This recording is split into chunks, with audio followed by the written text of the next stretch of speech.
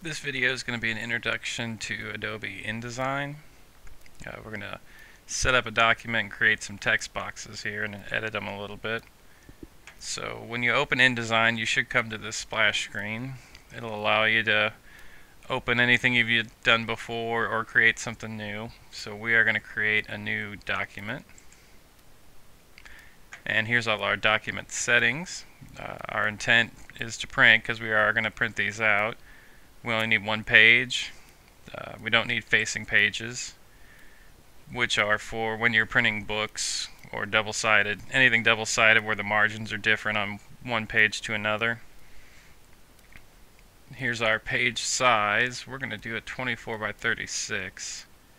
So what we'll do is double click in there and type in 24 and you can use the quotes and it'll convert it to inches for you. It's in picas right now.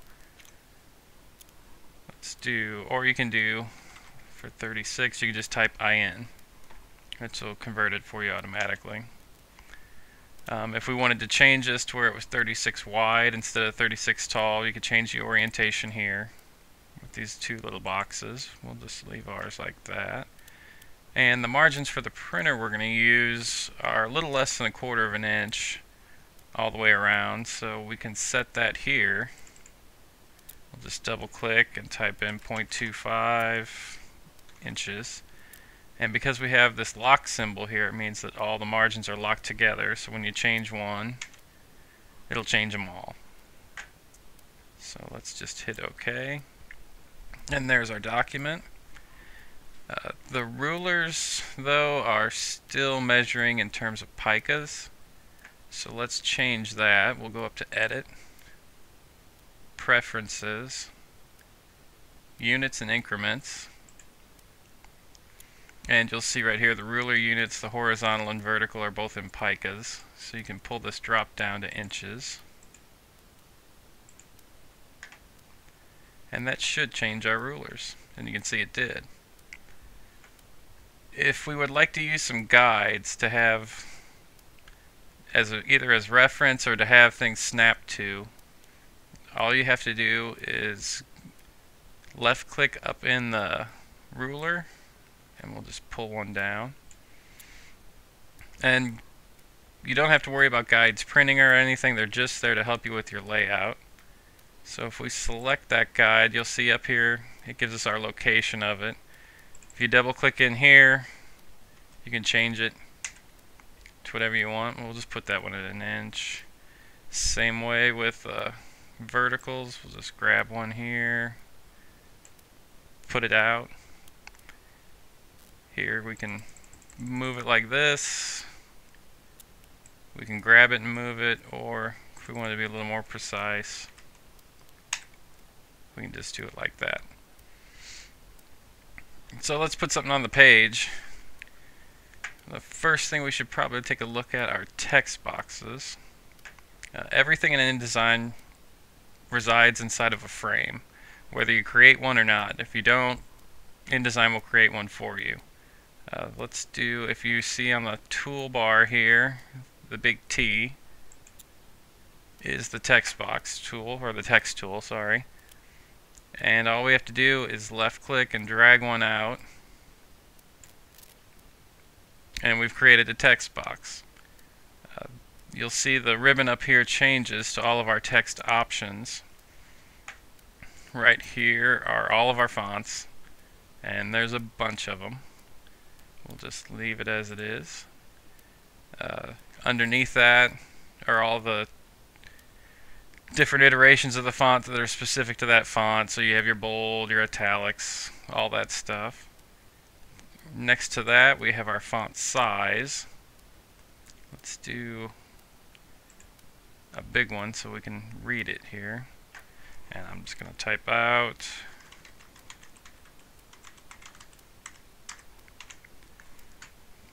this is a text box. If we highlight that text, we can change anything we need to over here and font size. If you want to go bigger than 72 inches, it's generally easier just to double click in there and type something in. Let's try. You can use the boxes, the buttons next to it to make it bigger. Or you can just type it in. We'll highlight this again. Uh, over here is, right here in the middle, is the text color. So we open that up and we'll get all the swatches we have for colors. These are just the generic ones. Right now, let's change it to a yellow. Alright. If we take our direct selection tool, or our selection tool, which is right up here on the left over here, that gives us our actual frame, which we can manipulate any way we need to. You can make it bigger, smaller. If you if you want to round the corners, um, you click this little yellow box, and it gives you the option. If you just grab one, you can round them. Uh, if you hold down Shift, you can round just one. And this works for image frames and text frames. But for this, I was just going to show you. This changes. Up here was our, when we had our text selected, it was the color for our text. This becomes the color for the fill inside the box. So let's change it to a red.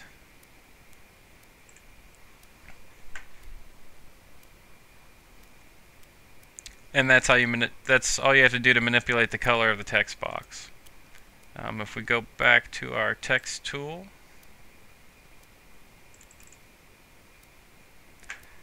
we have more options up here. We have our justifications. You can center, you can right justify from up here. Uh, over here on the right are your columns.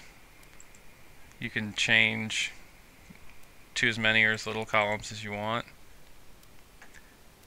Under here is the stroke color, which I'll show you. If you hold down Alt and use your wheel, it'll let you zoom in. So for this, let's do a white stroke. And what that gives you is a basically a white frame around everything inside your your box in, in your text, excuse me.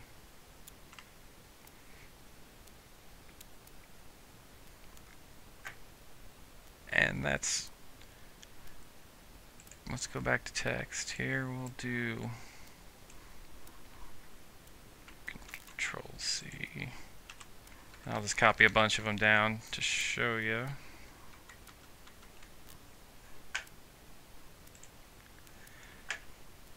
When you have more inside the text box than actually fits, you'll get this little red box with a cross in it down here. Well, all that's telling you is you've got too much that more text than actually fits inside the box, which you can manipulate the box if you need to, or the frame. Or if you click on this little red X, you'll see the cursor changes and it has all your text in it. You can actually draw out a new box and it kept the color of the text, but it didn't keep the color of the, the frame because it's a different frame completely. But those two are linked, so if we delete something out of here, you'll notice that the text from the bottom one flows back into the top. And if we add more in the top, it flows back into the bottom. So InDesign also will let you place Word documents and PDFs. So if I were to draw out a text box here, we'll go to File, Place. I just have a sample text here on the desktop. And it automatically brings in the text from that box. So if you'd rather write your stuff out in Word and then bring it in, you can do that.